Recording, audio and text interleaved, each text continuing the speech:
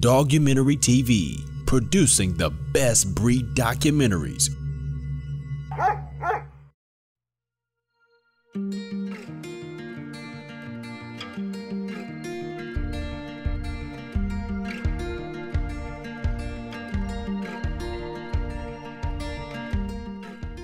Hi, my name is Barb Easton.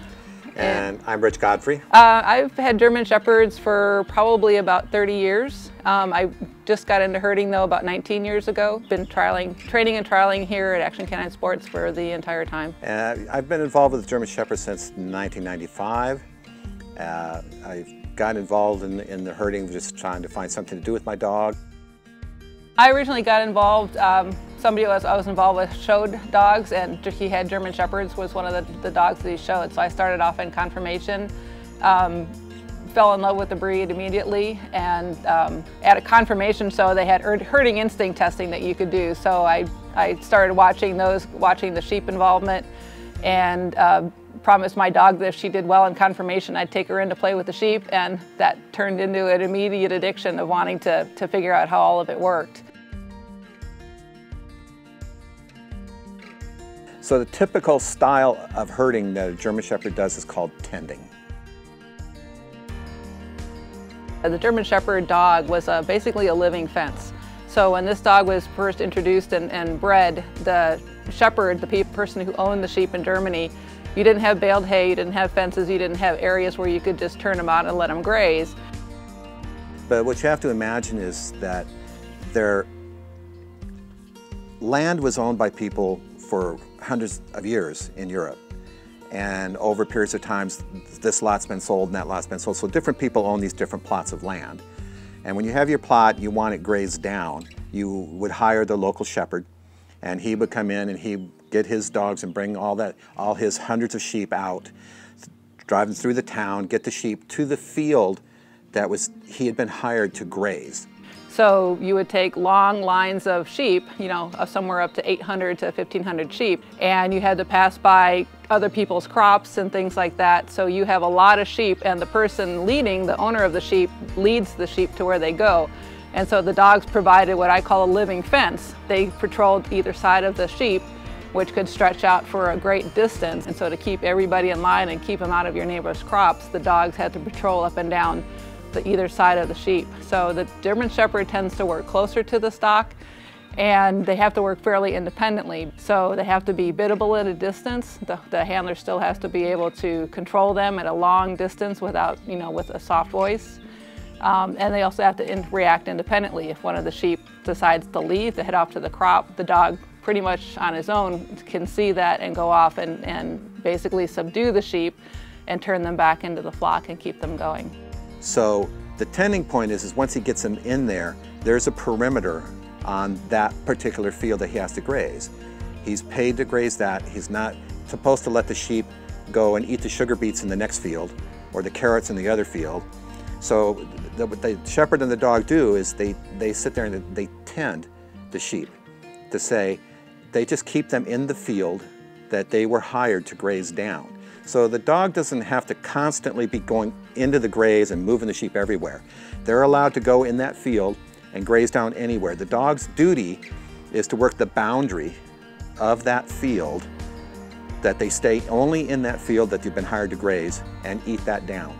And then at the end of the day, they're gathered back up and they move back and taken back to the ranch.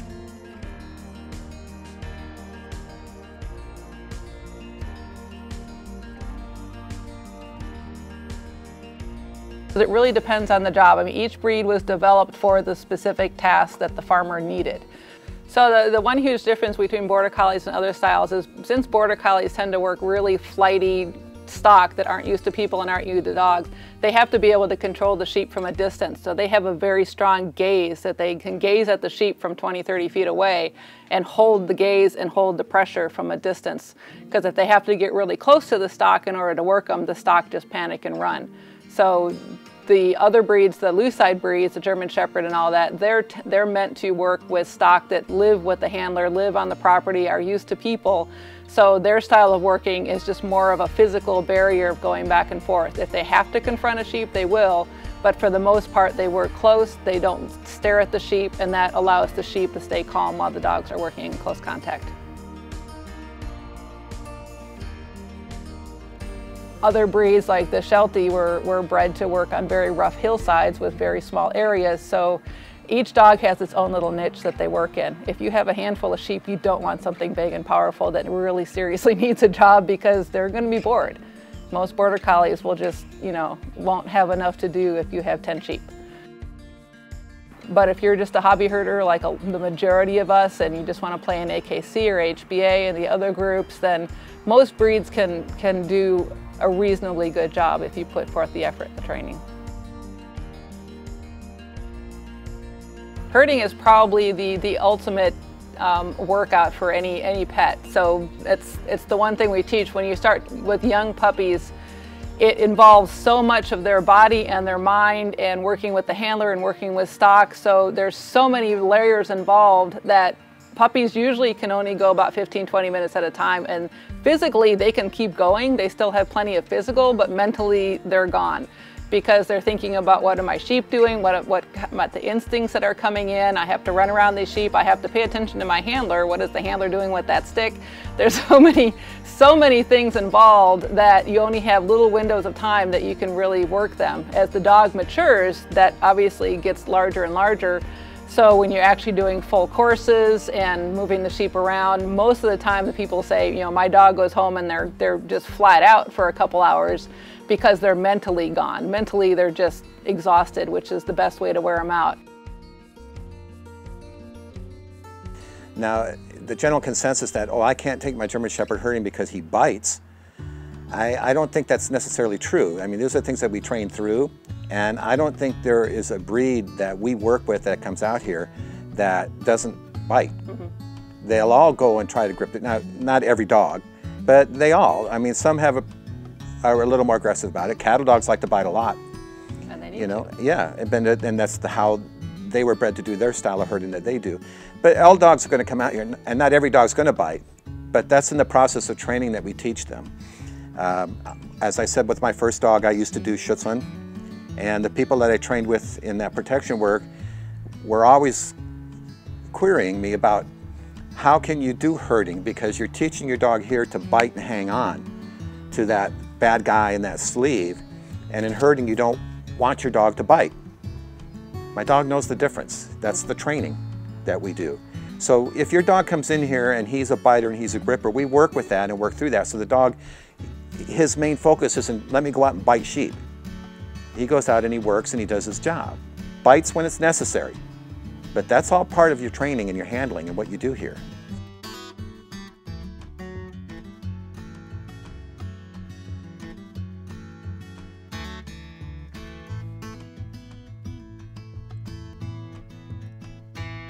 As, as far as the competition for the AKC, the American Herding Breed Association, the Australian Shepherd Club of America, those are the three basic ones that these dogs all compete in. Uh, do they accommodate the German Shepherd particularly? In some ways, yes. Basically, all dogs are trained to compete with the same situations and the same courses and everything. As far as that tending style that we've been talking about that the German Shepherds do, the AKC offers a C course, which emulates the Hagiha. The AHBA has a large flock, which emulates it. And ASCA has a, I'm not sure what they call it, but it's a, some kind of a field or a ranch thing that they do. Also, I'm not sure what their rules are. I haven't competed in it. So in that sense, they try to show the tending style a bit. And they try to accommodate it in that way.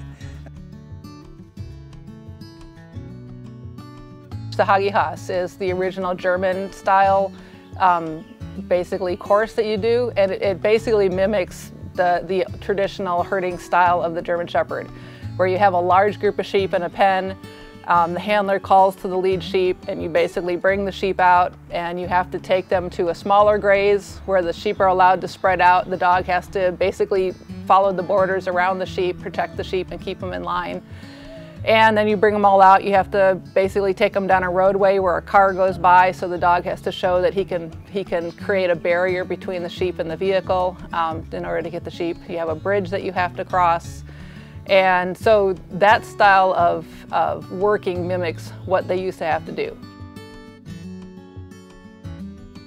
So the transition from of the German Shepherd from the herding world, from his working tradition to the police work, um, that came about when modern inventions reduced the need to take sheep other places to graze. So von Stephan saw the, the need to keep the breed going. He wanted to keep the breed alive. Um, so he used the natural tendency of the shepherd, the incredible nose for tracking, his ability to chase down sheep and subdue them with a strong but strong but grip, but not you know basically shredding the sheep. He, the, the grab and hold, um, and the natural protection work that the dog has, the natural you know ability the dog has to want to want to protect his flock or his people. Um, he saw that as a, as a possibility to introduce them into the, the police work. Um, so I believe one of, one of the stories that's told about his initial, you know, introducing the dog to the army and the police was he actually had a guy on horseback and he sent the dog. The dog raced up, basically jumped up and, and grabbed the horse by the back of the neck and, and basically they immediately saw that this could be, you know, used as, unfortunately, a weapon as well as, as uh, in police work with subduing subjects.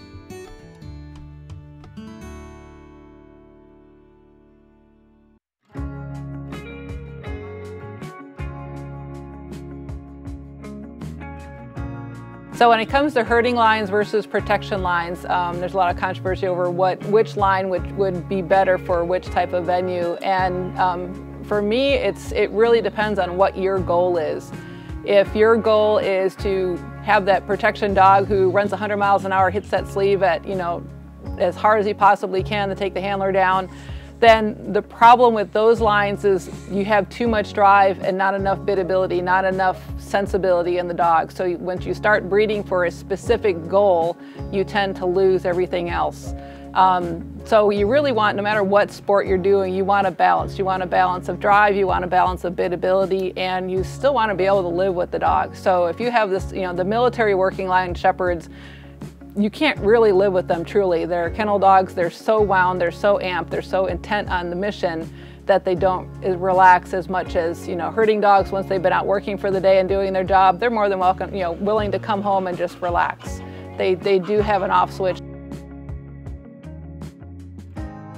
Two dogs you saw that I work with are, are Singer. He's my older male. He's nine years old. Uh, he has uh, three herding championships. He can has competed at the advanced level on all types of stock, which would be sheep, uh, ducks or geese, and uh, cattle. Uh, he's my second Triple Crown winner. He's the first German Shepherd in AKC to ever have a herding championship as well as a tracking championship. And then the other young girl that you videoed, uh, her working cattle, she's uh, four years old. Her name is Aria. They, um, she has two herding championships and she's working on points for her third. And, uh, and she's in training and tracking also.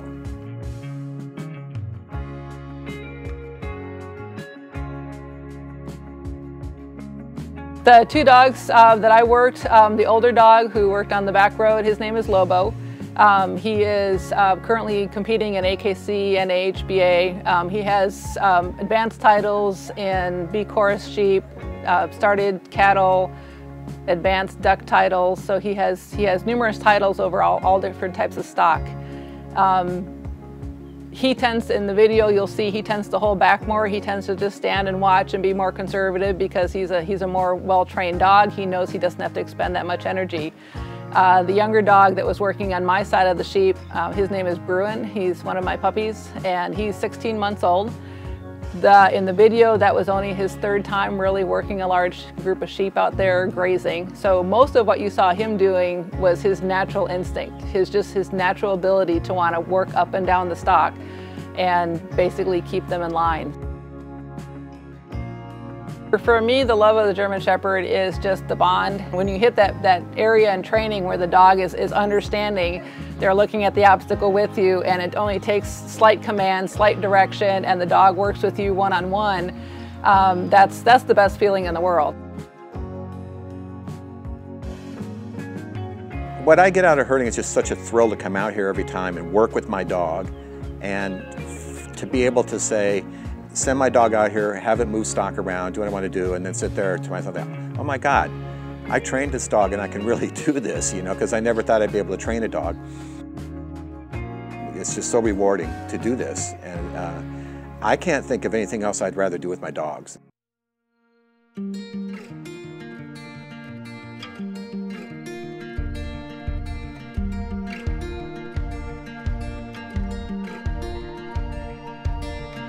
I've told my mother, I've told my friend, but I can't bring myself to tell you what I think. We built a pass on stolen ground, but now I cannot seem at all to find my sound. My harmonies are broken, it's like a lost